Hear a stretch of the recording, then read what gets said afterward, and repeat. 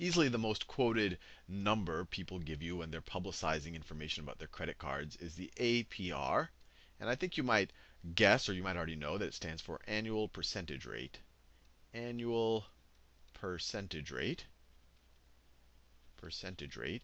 And what I want to do in this video is to understand a little bit more detail on what they actually mean by the annual percentage rate and do a little bit math to get the real or the mathematically or the effective annual percentage rate. So I was actually just browsing the web and I saw some credit card that had an annual percentage rate of, they say it's a 22.9% annual percentage rate. But then right next to it, they say that we have 0.06 274% daily, daily periodic rate.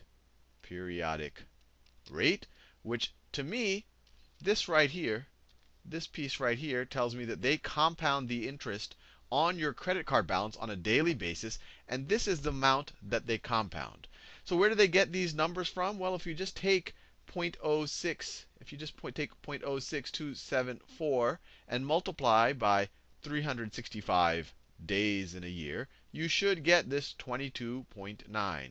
And let's see if we get that. And of course, this is percentage. So this is a percentage here, and this is a percent here. Let me get out my trusty calculator and see if that is what they get. So if I take if I take 0.06 274. And remember, this is a percent, but I'll just ignore the percent sign. So, so as a decimal, I would actually add two more zeros here. But 0.06274 times 365 is equal to right on the right on the money 22.9%. And you might say, "Hey Sal, what's wrong with that? That's, you know, they're charging me 0.06274% per day. They're going to do that for 365 days a year. So that gives me 22.9%.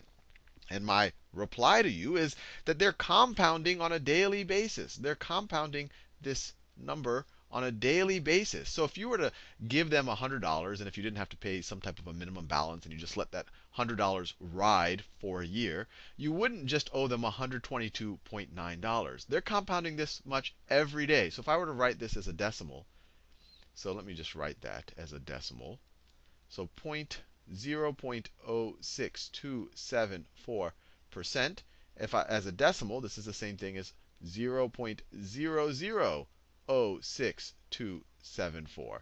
These are the same thing, right? 1% is 0.01. So 0.06% is 0.0006 as a decimal.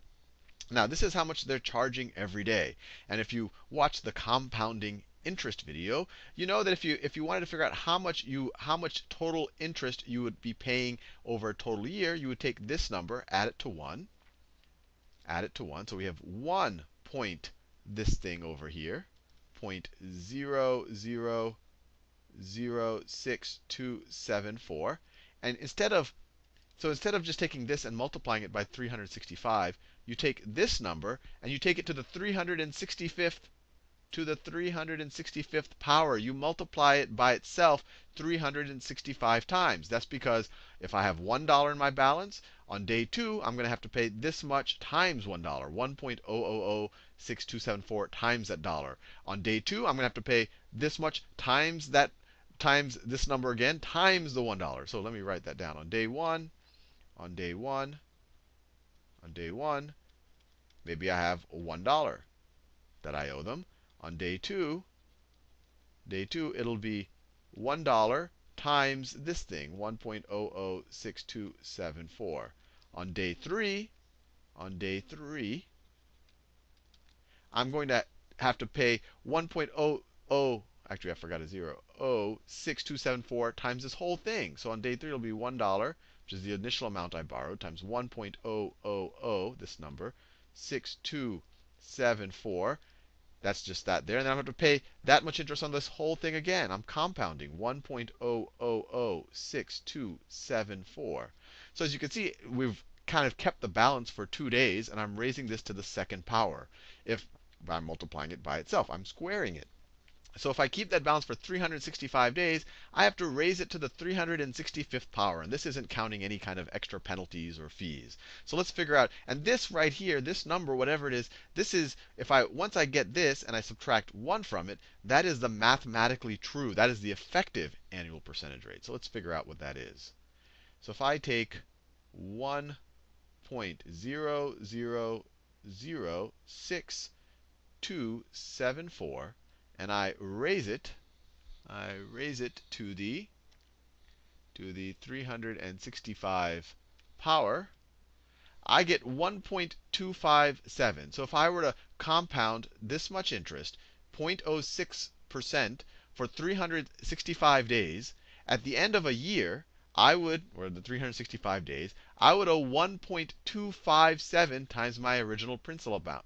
So that's so this right here this right here is equal to 1.257. So I would owe 1.257 times my original principal amount, or the effective interest rate.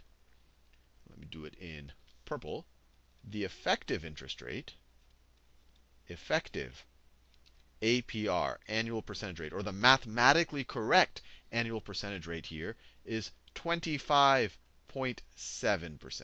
And you might say, hey, Sal, you know, that's still not too far off from the reported APR, where they just take 22, where they just take this number and multiply by 365, instead of taking this number and taking it to the 365 power. You're saying, hey, this is only a, this is roughly 23%, this is roughly 26%. It's only a 3% difference. But if you look at that compounding interest video, even the most basic one that I've put out there, you'll see that every percentage point really, really, really, really matters, especially if you're going to carry these balances for a long period of time. So be very careful. In general, you shouldn't carry any balances on your credit cards because these are very high interest rates, and you'll end up just paying interest on purchases you made many, many years ago, and you've long ago lost all of the joy of that purchase.